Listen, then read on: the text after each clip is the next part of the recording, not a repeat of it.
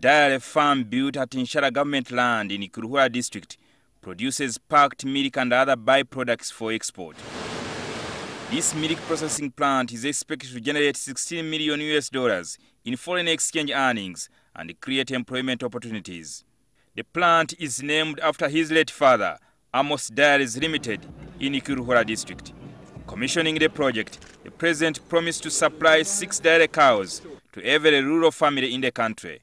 But what we want to do in the rest of Uganda is to have zero grazing with six dairy cows per home. The president says this will increase milk production to 22 million liters per day make the country a major export of dairy products in the region.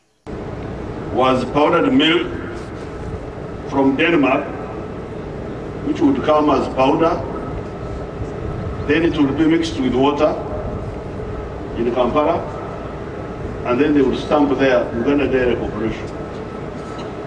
The only thing that was Ugandan was water. The president directed resident district commissioners, LC leaders, and veterinary officers to help and sensitize the people to shift from the traditional way of grazing and adopt grazing cows on nutritional pastures so as to realize maximum milk yields. I can sincerely and humbly say this commitment that you will never hear the word called, these words called pouring of milk. Amos Dairies Limited signed an agreement with Eri Foods, a US-based company, to export the dairy products.